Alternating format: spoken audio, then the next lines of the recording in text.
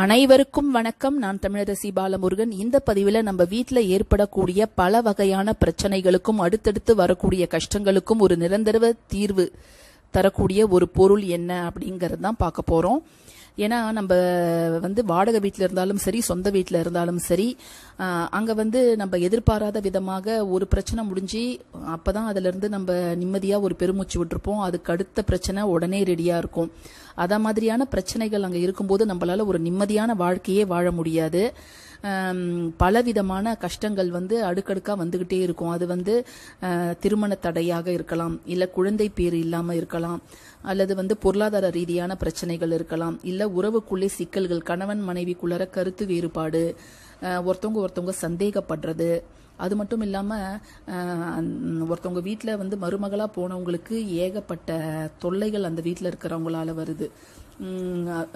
எப்படிலாம் பிரச்சனை வருதுன்னு பார்த்தா அந்த மருமக வரதுக்கு முன்னாடி அந்த வீட்டில் வந்து எல்லாமே நல்லா தான் இருந்துச்சு.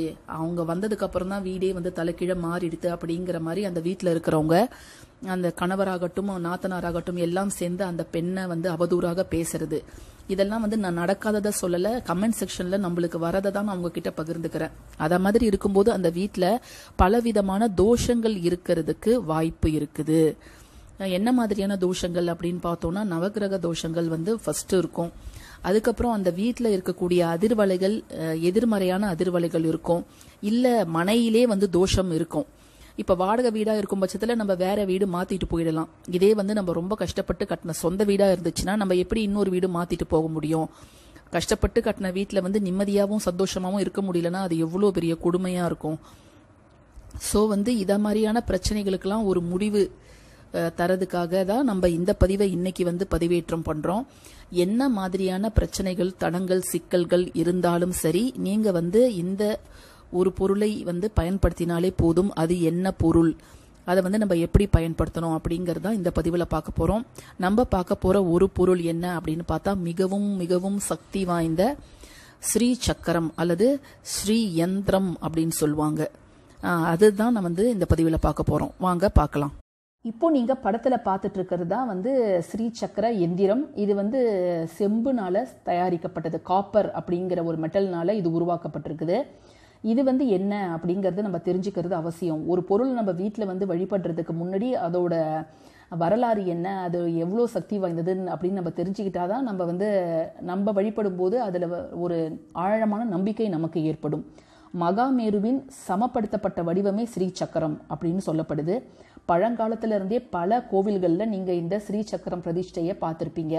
காஞ்சி காமாட்சி அம்மன் கோவிலிருந்து இருந்து கொல்லூர் மூகாம்பிகை அம்மன் கோவில் வரை அந்த மூலஸ்தானத்தில் அம்மனுக்கு முன்னாடி இந்த ஸ்ரீ சக்கரம் வந்து பிரதிஷ்டை செஞ்சுருப்பாங்க. இது ஏன்னா இது பிரதிஷ்டை பண்ணது மூலமாக கூட அது அதிக மக்களை கவர்ந்து இழுக்கக்கூடிய தன்மை கொண்டிருக்கும் அந்த கோவில் அப்படின்னும் சொல்கிறாங்க இது ஏன் ஃபஸ்ட்டு ஃபஸ்ட்டு எப்போ இது உருவானது அப்படின்னு பார்த்தோன்னா அம்பிகையானவளின் உக்கிரத்தை தணிக்க சர்வேஸ்வரன் அந்த உக்கிர கலையையே ஸ்ரீ சக்கரமாக ஸ்தாபித்து அம்பிகைக்கு எதிரில் வந்து வச்சு அவங்கள வந்து சாந்தமடைய செய்ததாக சொல்கிறாங்க அதனால் இதை வந்து இந்த பூர்வ புண்ணிய சேர்க்கை இருந்தால்தான் இந்த கலியுகத்தில் நம்ம வந்து சக்தியை வழிபட்டு மேன்மைக்கு வர முடியும் அப்படின்னு ஆதிசங்கரர் தன்னுடைய சௌந்தரிய லகரிலையும் குறிப்பிட்டிருக்கிறாரு. இது வந்து பார்க்கறதுக்கு சும்மா கோடு முக்கோணம் அதை மாதிரி தான் நம்மளுக்கு தெரியும். ஆனால் அதுக்குள்ள ஆழமான அர்த்தங்கள் வந்து நிறைய புதைஞ்சிருக்கு. இது வந்து சர்வசக்தியோட அடக்கமே இந்த ஸ்ரீ சக்கரத்தில் தான் இருக்குது அப்படின்னு சொல்கிறாங்க இந்த ஒவ்வொரு ஸ்ரீ சக்கரத்தின் இருக்கிற ஒவ்வொரு சுற்றிலும் அதாவது ஒவ்வொரு ஆவரணத்துக்குள்ளும் ஒரு முத்ரா தேவதை ஒரு ஆவரண தேவதைகள் யோகினி தேவதைகள் பரிவாரம் தரும் சக்தி தேவதைகள் மற்றும் சித்தியை தரும் ஒன்பது வகையான சித்தி தேவதைகளும் உள்ளனர். இது வந்து ஏன் நம்ம இப்போ எப்படி பயன்படுத்துறதுக்கு ஏன் இது அப்படின்னு கேட்டிங்கன்னா நம்மளோட துயர்களை நீக்கி நமக்கு அன்னையின் பரிபூரண அருளினை அளிக்கும் உபாயம்தான் இந்த ஸ்ரீ சக்கரம். உலகை ரட்சிக்கும் நாயகி யாருன்னு பார்த்தா ராஜராஜேஸ்வரி. அவங்களும் இந்த மகாமேருவில் தான் உறைஞ்சிருக்கிறாங்க. இந்த மகாமேருவின் உருவையை தான் அந்த ஸ்ரீ சக்கரத்தில் பொறிக்கிறாங்க. அதை அதை அப்படியே ரெப்ளிகா பண்ணுறாங்க இந்த மகா சக்தியை மந்திரம் எந்திரம் தந்திரத்தால் வழிபடுவர். இந்த மூன்றும் முக்கோணத்தின் மூன்று மூலைகளில் இருக்குது அப்படின்னு சொல்கிறாங்க ஸோ அன்னையின் அருளை பெறுவதற்கு ஸ்ரீ ஸ்ரீ சக்கர வழிபாடே ரொம்ப ரொம்ப சிறந்தது. இந்த ஸ்ரீ சக்கரம் ஒருத்தவங்க வீட்டில் இருக்கும்போது அந்த வீட்டில் எந்தவித துஷ்ட சக்திகளும் கிட்ட நெருங்காது. அனைத்து விதமான தோஷங்களும் நிவர்த்தி பண்ணப்படும். அதனால் நீங்கள் இதை வாங்குறதுக்கு முன்னாடி அதில் வந்து சரியான முறையில் அந்த தகடு செய்யப்பட்டதா? அப்படின்னு நீங்கள் பார்த்துட்டு வாங்குறது தான் ரொம்ப நல்லது.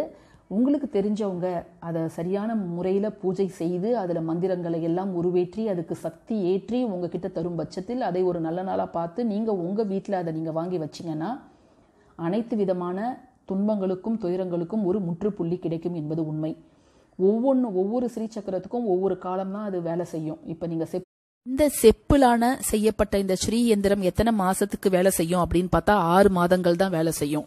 நம்ம மட்டும் சில எந்திரங்கள்லாம் வச்சுட்டு வருஷ கணக்கில் அதெல்லாம் வச்சிருப்போம் பட் அதோட சக்தி வந்து அதில் இருக்காது. அதே மாதிரி வெள்ளிக்கு ஒரு குறிப்பிட்ட காலம் மூன்று வருடங்கள் தங்கத்துக்கு ஒரு தங்கத்தால் செய்யப்பட்ட தகடுகளும் வைப்பாங்க. அது ஒன்று ஒன்றுத்துக்கும் ஒவ்வொரு கால நிர்ணயம் இருக்கு. பஞ்சலோகத்துலனா அதுக்கு ஒரு குறிப்பிட்ட காலம் தான் இருக்கு. இப்போ நம்ம வீட்டில் வைக்க போறது இந்த செப்பு தகடு தான் இதில் வந்து உங்களுக்கு நம்பிக்கை இருந்து நம்ம இதை வைக்கலாம் அப்படின்னு தோணுச்சுன்னா நீங்க செய்யலாம். இல்லை எனக்கு இதெல்லாம் பார்த்தாலே பயமா இருக்கு எனக்கு நான் வேண்டாம் அப்படின்னு உங்களுக்கு நெகட்டிவா தோணுச்சுன்னா நீங்க வந்து செய்ய தேவையில்லை விட்டுடலாம். இப்போ வந்து நம்ம வீட்டில் அனைத்து விதமான கஷ்டங்களும் துயரங்களும் போகிறதுக்கு நம்ம இதை மூன்று இடத்துல வச்சு நம்ம பூஜை செய்யணும். அது என்னென்ன இடம் அப்படின்றத பார்க்கலாம்.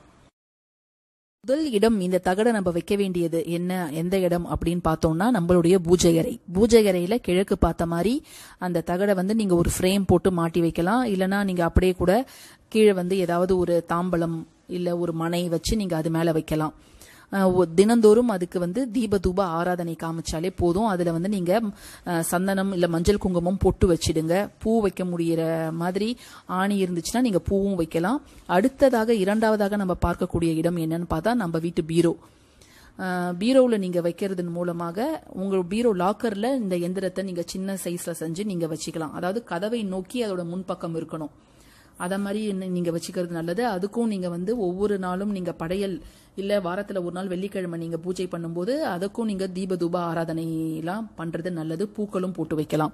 மூன்றாவது இடம் என்ன அப்படின்னு பார்த்தோன்னா நம்ம வீட்டுக்கு வெளியில இருக்கக்கூடிய ஈசானிய மூலையில மண் இருந்துச்சுன்னா நீங்க அந்த மண்ணுல இந்த மாதிரி ஒரு எந்திரத்தை வந்து ஒரு அடி தோண்டி புதைச்சு வைக்கிறது நல்லது. ஏன் வந்து இந்த மூன்று குறிப்பிட்ட இடம்ல வைக்கிறது ரொம்ப நல்லது அப்படின்னு நம்ம பார்க்கலாம். பூஜை அறையில வைக்கிறதன் மூலமாக நம்ம வீட்டில் இருக்கக்கூடிய அனைவருக்கும் ஏற்படக்கூடிய நவக்கிரக தோஷங்கள் முற்றிலும் நீக்கப்படும். பீரோல வைக்கிறதன் மூலமாக மகாலட்சுமியோட அனுகிரகம் நம்மளுக்கு பரிபூர்ணமாக நமக்கும் நம்மளுடைய குடும்பத்தாருக்கும் கிடைக்கும். நீங்க வந்து தொழில் செய்யற இடத்துல கூட நீங்க இதை வந்து வச்சுக்கலாம். அதாவது மந்திரிக்கப்பட்ட பூஜை பூஜை செய்யப்பட்ட இந்த தகடை வந்து நீங்க வச்சுக்கிறது நல்லது. மனையில மண்ணுல வந்து ஏன் வைக்கணும்? வடகிழக்கு ஈசானிய மூலையில நம்ம வீட்டுக்கு நிலைவாசலுக்கு வெளியில ஏன் நம்ம வைக்கணும்னு பார்த்தா மனையில் ஏற்படக்கூடிய அனைத்து விதமான தோஷங்களும் நீக்கப்படும். இல்லை நாங்கள் இப்போ தான் வீடு கட்டிட்டு இருக்கிறோம். அங்கே வைக்கலாமா அப்படின்னா நீங்கள் தாராளமாக வைக்கலாம் ஆனால் அந்த வச்ச அந்த இடத்த வந்து நீங்கள் சுத்தமாக பராமரிங்க. மேலே வந்து செடி மரம் அதெல்லாம் வச்சிடாதீங்க. அந்த இடத்த அதுக்கு ஒரு அடையாளம் வச்சு அதுக்கு மேலே ஏதாவது கோலம் போட்டோ இல்லை வந்து அதை சுத்தமாக நீங்கள் பராமரித்து மேலே வந்து ஒரு அடையாளம் வச்சுக்கோங்க. இதை மாதிரி நீங்கள் செய்வதன் மூலமாக உங்களுடைய குடும்பத்தில் உள்ள அனைவருக்கும் எந்த விதமான தோஷங்களும் தாக்காது. எந்த விதமான துஷ்ட சக்திகளும் உங்களை அண்டாது. அனைத்து நலங்களும் வளங்களும் உங்க வீட்டில் இருக்கிறவங்களுக்கு பரிபூரணமாக கிடைக்கும். இல்லை எங்களுக்கு இந்த மண்ணில் எல்லாம் வைக்கிறதெல்லாம் இஷ்டம் கிடையாது அப்படின்னா கூட நீங்கள் ஒரே ஒரு ஸ்ரீயந்திர தகடை வந்து உங்கள் பூஜை ரூமில் மட்டும் வச்சு பாருங்க. அதனால உங்கள் வாழ்க்கையில் ஏற்படக்கூடிய மாற்றங்களை நீங்களே வந்து கண்கூடாக பார்க்க முடியும். இந்த பதிவு உங்களுக்கு பிடிச்சிருந்ததுன்னா கட்டாயமாக லைக் பண்ணுங்கள் ஷேர் பண்ணுங்கள் நம்ம சேனலுக்கு சப்ஸ்கிரைப் பண்ணுங்கள் தேங்க்யூ ஃபார் வாட்சிங் திஸ் வீடியோ நன்றி.